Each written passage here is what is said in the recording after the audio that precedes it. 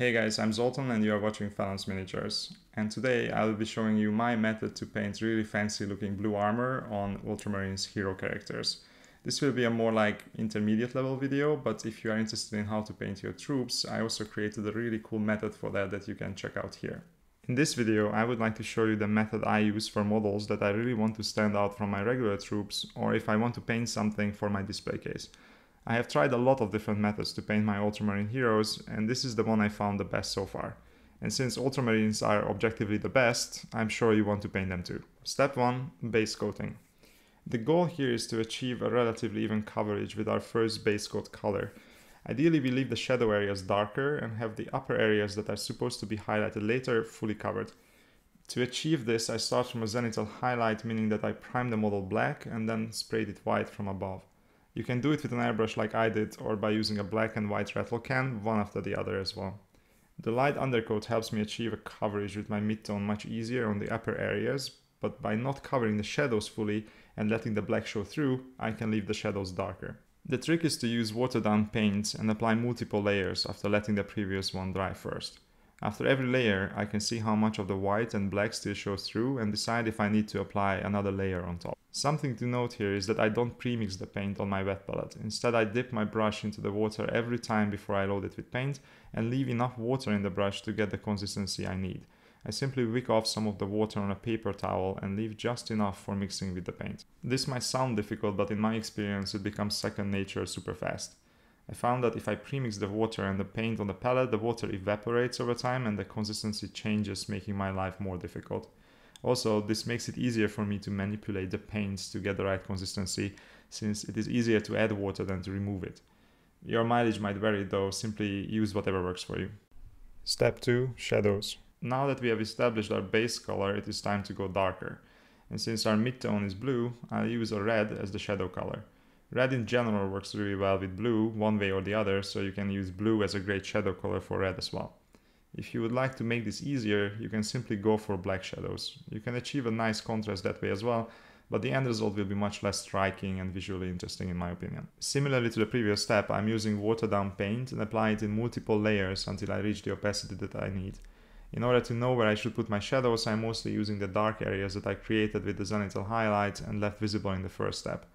In most places I'm not covering the darker areas fully and leave some of the black and the dark blue visible to create a transition.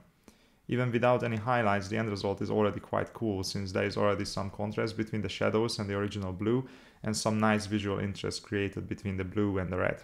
Step 3 Highlights.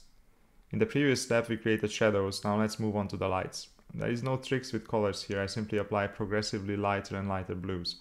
I'm using Vallejo paints on this model because I quite like the way they look, but you can replace them with any blue paints in your arsenal. For example, Macragge blue, Calgar blue and Fenrisian grey would be perfect as well. The process is quite easy once you get the hang of it. I mostly just use the lighter areas that I created earlier with the zenithal highlights and cover a progressively smaller and smaller area with the lighter colors, making sure that I leave some of the previous color visible so I create a transition between the two. If I want to smooth out the transition, I can take an even more watered down version of the previous paint and paint it from the lighter area towards the darker one in multiple passes until I am satisfied with the result. With every new highlight color, I also apply edge highlights everywhere. This is super important to sell the effect we are going for and to make the model readable for the viewer. Ideally, every edge should be highlighted as thinly as you can manage. It is not a zero-sum game though. The better you get at the edge highlights, the better the end results will be. But any edge highlights you do will make things better, so you just do your best and keep improving. With the lightest highlight colors, it is enough to concentrate on the upward facing edges. You don't need to go for every single one of them. Depending on how shiny you want the armor to be and how much contrast you want, you can go as far as pure white with your highlights and cover more or less area with them. Step 4. Recess shading and black lining. Since we are not applying a shade in this paint job because we don't want to ruin the transitions and colors we created with our shadows and highlights, we have to find another way to make sure our recesses are dark. If you don't do this, the model will lack definition no matter how much time we put in with our edge highlights. You can resort to various tricks to achieve this, oil paints, dedicated recess shading products, or inks for example, but the most effective way I found is to simply water down some black paint quite heavily and then apply it in the recesses with a nice thin brush. This might seem daunting at first, but with a bit of practice and the right paint consistency, it is actually quite easy and super satisfying to do. It always surprises me how much it adds to the overall look of the model as I get closer to finishing this step. Make sure to hit every recess but also apply the black wherever two surfaces meet as well as around all the raised corners and edges. If you make a mistake you can quickly wipe it away with your finger or a damp brush. If you were too slow and didn't manage to wipe it away, simply treat it as a happy accident and create battle damage out of it. And with that our blue armor is finished and here's how the model looks with everything painted.